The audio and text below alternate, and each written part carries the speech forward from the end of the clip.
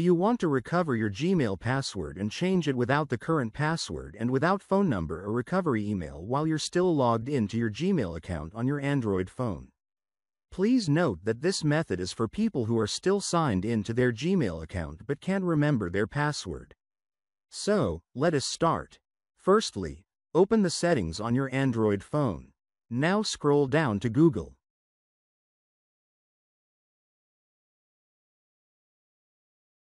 Tap on your Google account. Select Manage your Google account. Go to Security. Scroll down to Password.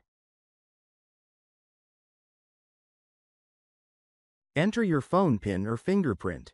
Here you can change your password without the old one. Simply enter a new password then rewrite it again to confirm it. Hit change password and you are done. So, this is how to change your Gmail password without old password. Thanks for watching this video. And don't forget to hit the like button below the video and share it with your friends. If you want more videos like this, then tap on the subscribe button and join us.